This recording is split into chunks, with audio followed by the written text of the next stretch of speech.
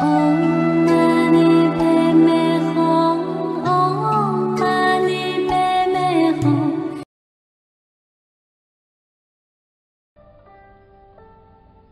văn.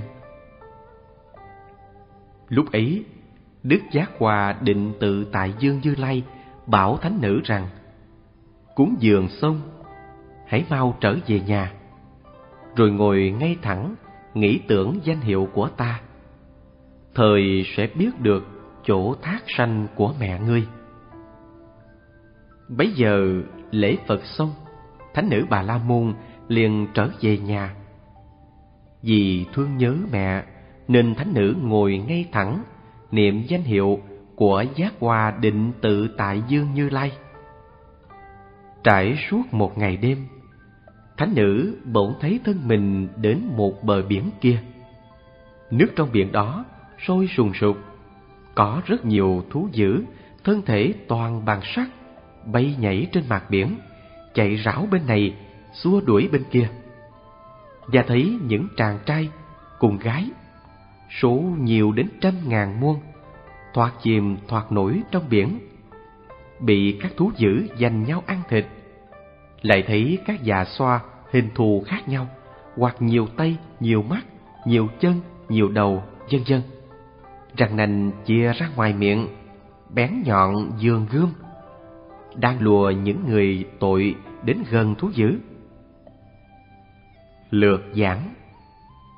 Lúc ấy, đức giác hòa định tự tại dương như lai bảo thánh nữ bà la môn rằng, cúng dường xong, người hãy mau trở về nhà. Vì ngươi vừa bị té, thân thể bị nhiều thương tích. Vậy sau khi cúng dường ở đây xong thì ngươi nên sớm trở về nhà. Về đến nhà rồi thì thế nào? Rồi ngồi ngay thẳng, nghĩ tưởng danh hiệu của ta.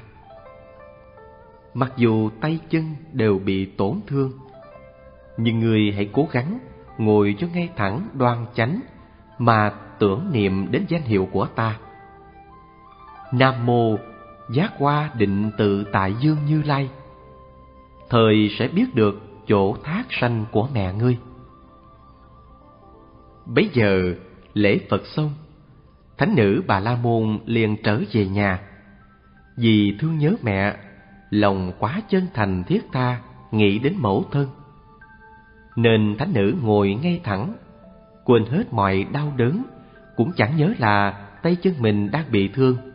Chỉ một lòng một dạ chuyên chú niệm danh hiệu của đức giác hoa định tự tại dương như lai trải suốt một ngày đêm, trong suốt khoảng thời gian lâu như thế, thánh nữ tuyệt nhiên không nghỉ ngơi, chẳng ăn, chẳng uống, cũng không đi tiêu, đi tiểu thánh nữ ngồi ngay thẳng, chứ không phải quỳ, mà ngồi suốt 24 tiếng đồng hồ và chỉ chuyên tâm chí thành niệm Phật. Ngoài ra, không làm việc gì khác.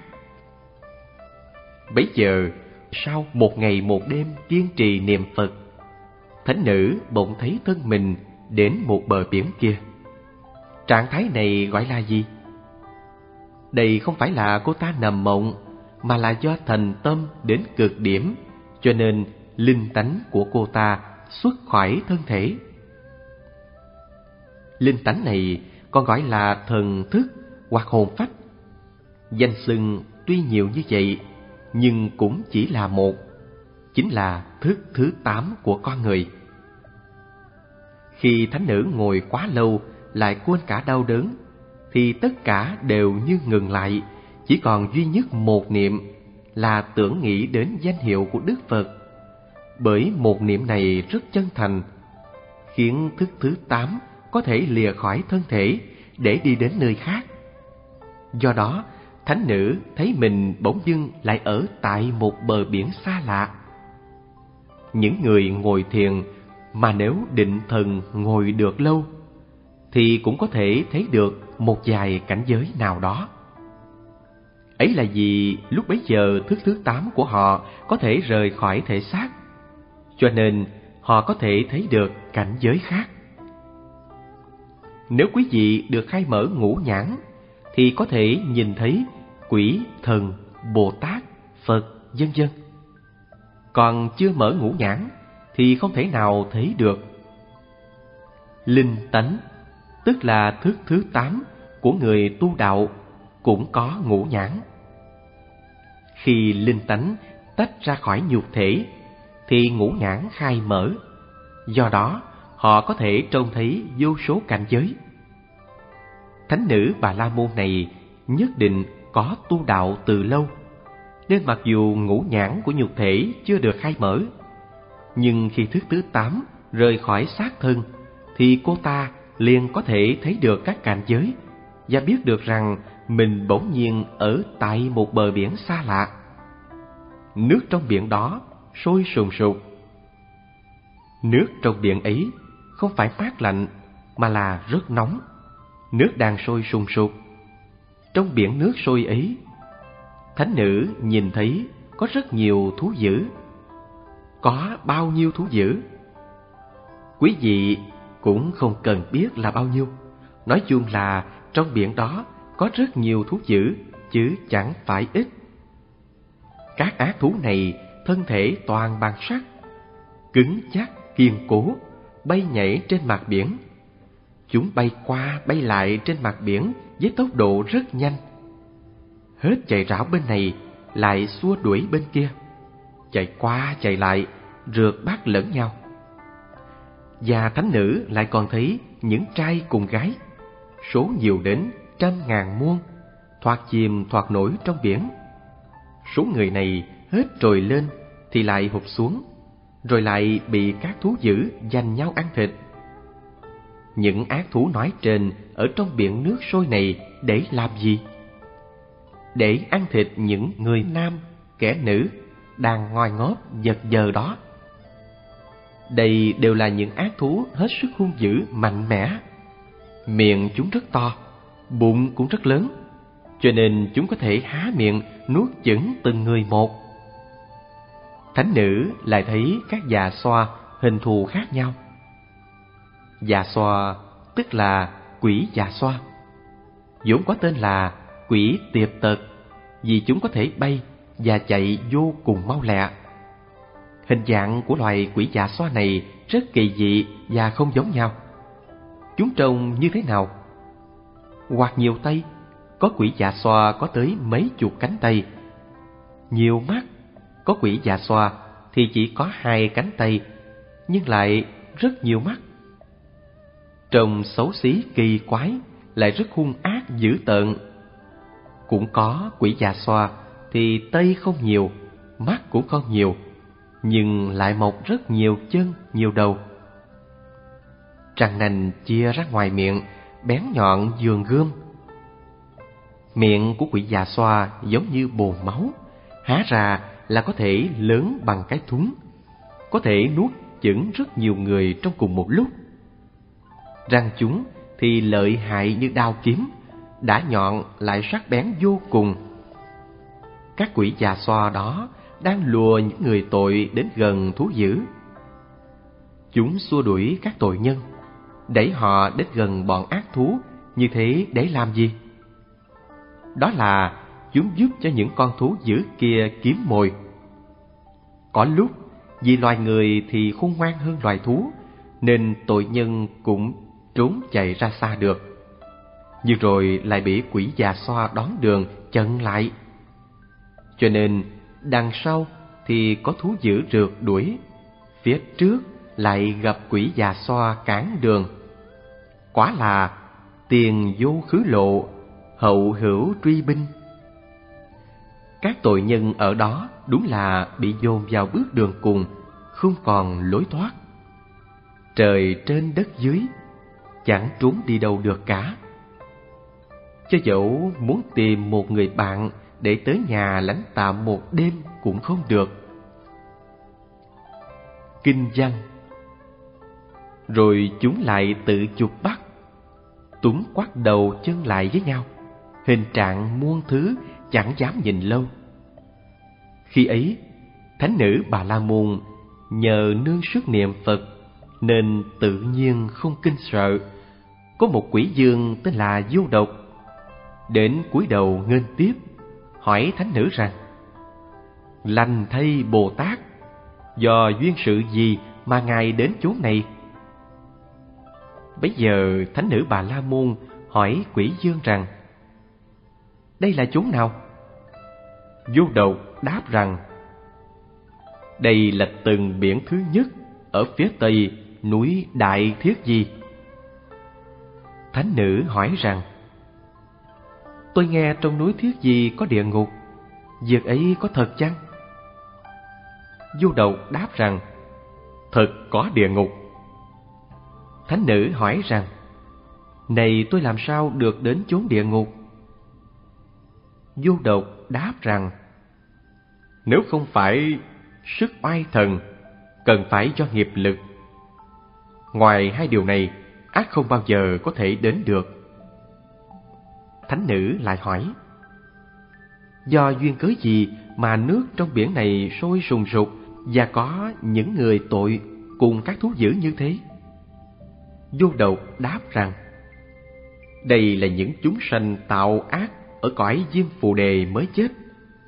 Quá bốn mươi chín ngày không người kế tự để làm công đức hầu cứu vớt khổ nạn cho.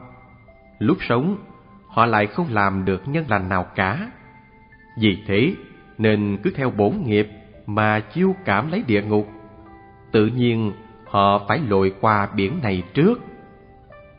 Cách biển này mười dạng do tuần về phía đông, lại có một cái biển. Những sự thống khổ ở đó còn gấp bội chốn này. Phía đông của biển đó lại có một cái biển nữa. Sự thống khổ ở đó càng trội hơn. Do ác nhân của tam nghiệp cảm dời ra và gọi chúng là biển nghiệp, chính là chỗ này vậy. Lược giảng Rồi chúng, tất cả những thú dữ và quỷ dạ xoa này lại tự chụp bắt, túm quắp đầu chân lại với nhau. Hình trạng muôn thứ chẳng dám nhìn lâu những ác thú và quỷ dạ xoa này hè nhau túm lấy tội nhân, rồi bẻ quạp đầu và chân tội nhân lại. Hoặc có lúc quỷ già xoa túm lấy ác thú, rồi bẻ quạp đầu và chân của ác thú. Hoặc ác thú chụp bắt già xoa, rồi cũng bẻ quạp đầu và chân của già xoa lại. Hoặc quỷ già xoa và ác thú cùng bắt tội nhân, rồi bẻ quạp đầu và chân của tội nhân lại với nhau. Nói chung là ai nấy đều bị bẻ chặn thành muôn hình dạng trạng, toàn là những hình thù rất ghê rợn khủng khiếp, đến nỗi người thường chẳng dám nhìn lâu. Khi ấy, thánh nữ Bà La Môn nhờ nương sức niệm Phật, Nam mô giác hoa định tự tại dương Như Lai nên tự nhiên không kinh sợ trước những cảnh tượng hải hùng đó. Có một quỷ dương tên là Du Độc, đến cúi đầu nghênh tiếp. Bấy giờ thủ lãnh của loài quỷ là quỷ dương Du Độc tiến đến lạy chào thánh nữ Bà La Môn, rồi hỏi thánh nữ rằng: Lành thay Bồ Tát, do duyên sự gì mà ngài đến chốn này? Thưa vị Bồ Tát, có thiện tâm chẳng hay vì duyên cớ gì mà ngài lại đến nơi đây bấy giờ thánh nữ bà la môn hỏi quỷ dương rằng, tôi không rõ làm thế nào tôi lại đến được nơi này. Chẳng hay đây là chốn nào? Quỷ dương vô độc đáp rằng, đây là tầng biển thứ nhất ở phía tây núi đại thiết di. Núi Đại Thiết Di là một trong những hòn núi lớn ở bên ngoài núi Tu Di. Thánh nữ hỏi rằng, Tôi nghe trong núi Thiết gì có địa ngục, việc ấy có thật chăng? Tôi thường nghe người ta nói rằng bên trong núi Thiết gì có địa ngục, chẳng hay có thật như thế chăng?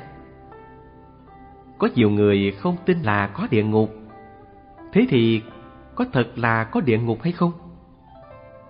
Du độc đáp rằng, thật có địa ngục, quả thật có địa ngục. Đây chẳng phải là do con người tưởng tượng ra, mà đích thực là có địa ngục. Thánh nữ lại hỏi, Này tôi làm sao được đến chốn địa ngục? Do duyên cớ gì mà bây giờ tôi lại đến địa ngục này? Vô độc đáp rằng, nếu không phải sức oai thần, cần phải do nghiệp lực. Ngoài hai điều này ra, ác không bao giờ có thể đến được. Có hai nguyên nhân dẫn dắt đến chốn địa ngục. Thứ nhất là phải có oai thần, sức thần thông, đức hạnh mới có thể đến được nơi này. Thứ hai là do nghiệp lực, tức là vì có nghiệp tội nên mới bị đọa vào địa ngục. Như vậy, nếu không do oai thần hoặc nghiệp lực dẫn dắt, thì không thể nào đến được địa ngục.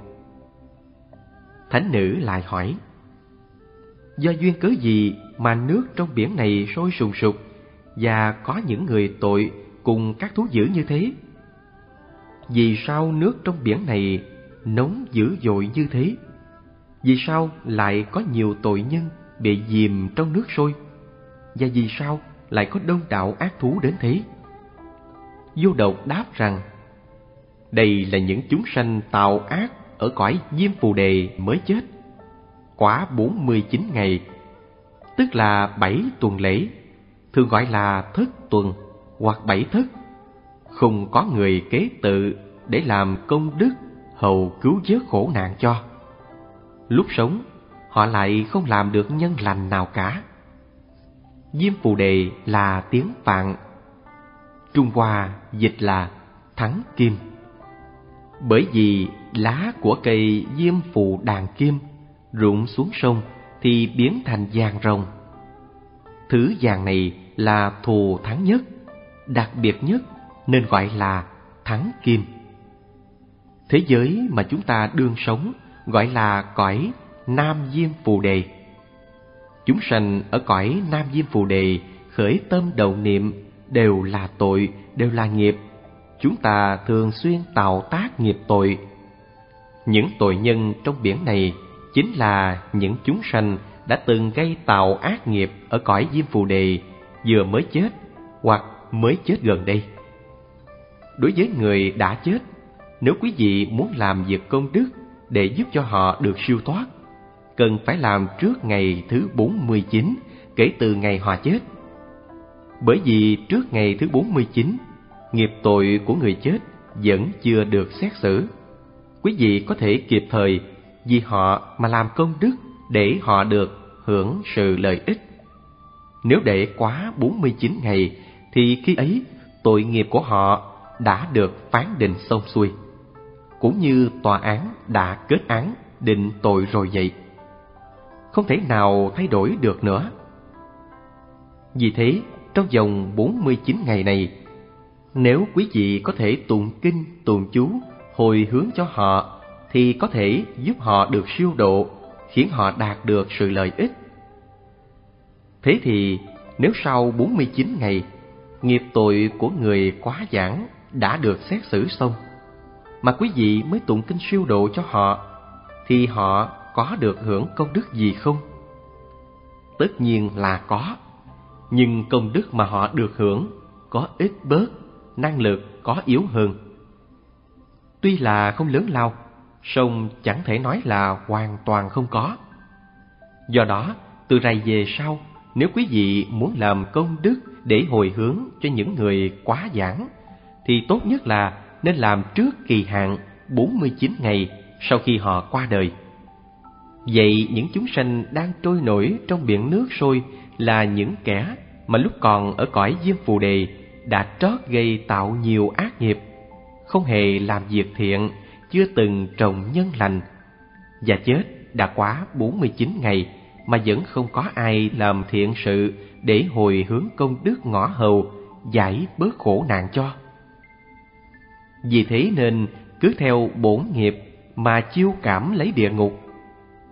Tự nhiên họ phải lội qua biển này trước Căn cứ vào nghiệp tội trước đây họ đã tạo tác mà cảm thọ quả báo địa ngục. Tự nhiên trước hết họ phải lội qua cái đại khổ hải này, nhận lãnh nghiệp báo mà họ đáng phải nhận lãnh. Quỷ dương vô độc lại nói tiếp. cách biển này mười dạng do tuần về phía đông lại có một cái biển. Ở phía đông của biển nước sôi này lại có một biển lớn khác. Biển ấy cách biển này mười dạng do tuần, và những thống khổ ở đó còn gấp bội chúng này. Thấy những người trong biển này bị ác thú và quỷ già xoa, xua đuổi, rượt bắt. Quý vị cho rằng như thế là thống khổ. Nhưng khi đến biển kia, thì quý vị sẽ thấy rằng ở đó còn khổ sở và lợi hại hơn ở biển này rất nhiều. Phía đông của biển đó lại có một cái biển nữa. Sự thống khổ ở đó càng trội hơn, càng nhiều hơn so với biển trước. Do nguyên nhân nào mà có những biển này? Do ác nhân của tam nghiệp cảm dời ra và gọi chung là biển nghiệp. Chính là chỗ này vậy. Tam nghiệp tức là ba nghiệp. Thân nghiệp, khẩu nghiệp và ý nghiệp. Thân có ba nghiệp ác. Sát, đạo, dâm là sát sanh, trộm cắp và tà dâm, không giữ quy củ. Ý có ba nghiệp ác là lòng tham lam, lòng sân hận, lòng si mê, tức là tham sân si. Miệng hay còn gọi là khẩu có bốn nghiệp ác là ỷ ngữ, dòng ngữ, ác khẩu và lưỡng thiệt. Ý ngữ là nói những chuyện trai gái không chánh đáng. Giọng ngữ là chuyên nói những lời gian dối, nói láo. Ác khẩu là dùng lời hung dữ mắng chửi người. Lưỡng thiệt là nói lưỡi đôi chiều. Gặp Trương Tam thì nói xấu Lý Tứ, gặp Lý Tứ thì nói xấu Trương Tam, để gây xích mích lẫn nhau. Một người mà nói hai lời trái nghịch nhau, như đi với giáp thì nói ớt thế này thế nọ, còn đi với ớt thì lại nói giáp thế nọ thế kia.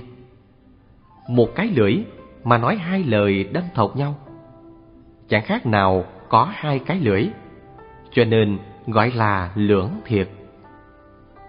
Miệng có bốn nghiệp ác, thân có ba nghiệp ác, ý có ba nghiệp ác, gọi chung là mười điều ác, tức là thập ác, hoặc tam nghiệp ác nhân, tức là những chủng tử hoặc mầm mống gây tạo tội ác qua thân, khẩu và ý. Vì sao lại có biển nước sôi rùng sục cùng nhiều thú dữ và quỷ già xoa như thế? Đây đều là do những nghiệp nhân xấu ác của con người tạo ra mà chiêu cảm lấy quả báo. Trồng nhân lành thì gặt quả lành, gieo ác nhân thì chịu ác báo. Nghĩa là bụng làm dạ chịu. Nghiệp tội đều là do mình tự gây ra và tự chuốc lấy. Vậy ba cái biển này được gọi chung là biển nghiệp, tức là nghiệp hải, và đều do nghiệp lực của con người cảm dời ra.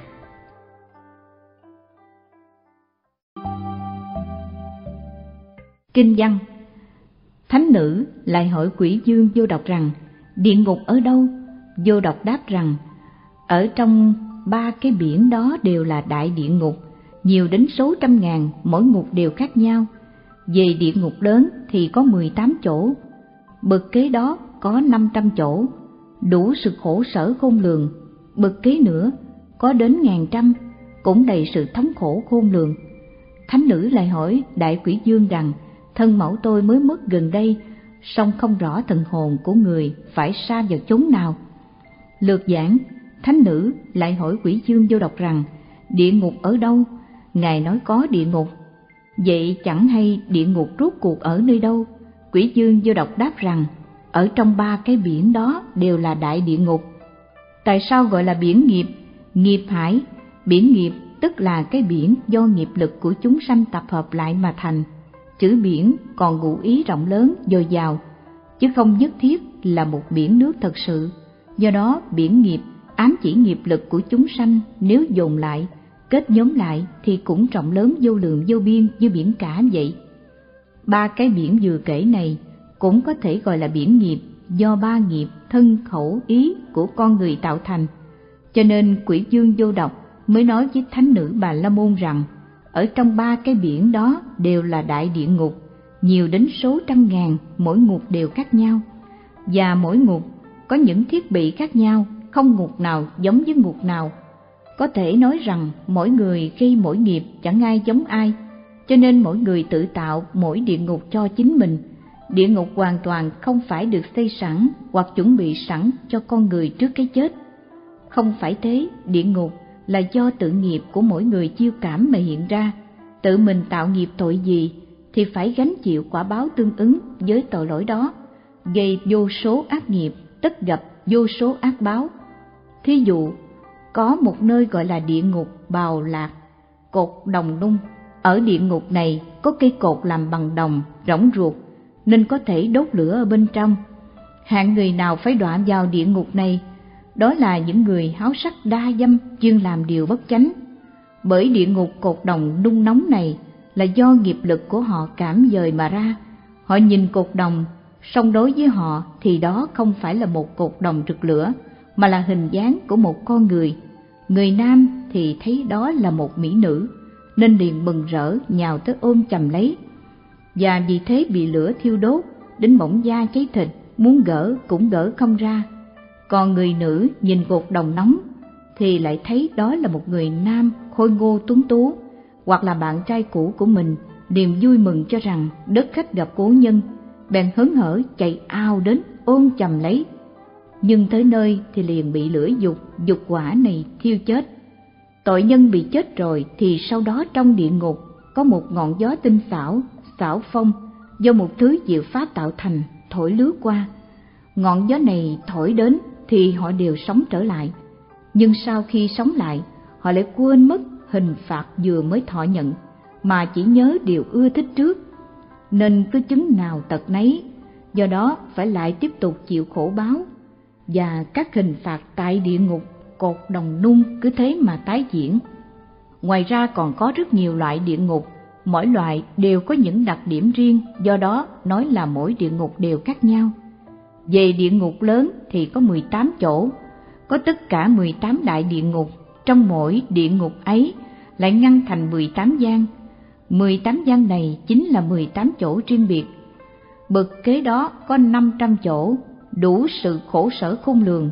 Thứ đến lại có 500 địa ngục, mà sự khổ sở ở nơi này nhiều đến đếm không xuể, kể không xiết. Bậc kế nữa có đến ngàn trăm, cũng đầy sự thống khổ khôn lường kế nữa thì lại có đến hàng trăm hàng nghìn địa ngục. Sự khổ sở ở những ngục này so với năm trăm địa ngục trên tuy có phần nào nhẹ hơn, nhưng nói chung thì vẫn là vô lượng vô biên. Thánh nữ lại hỏi Đại Quỷ Dương rằng, xin Ngài mở lòng từ bi mà chỉ bày cho. Thân mẫu tôi mới mất gần đây, song không rõ thần hồn của người phải xa vào chốn nào. Mẹ tôi vừa mới qua đời, tính đến nay cũng chưa được bao lâu, song tôi nóng lòng muốn biết linh hồn của mẹ tôi hiện đương phiêu bạc phương nào, xin quỷ dương làm ơn chỉ giúp cho.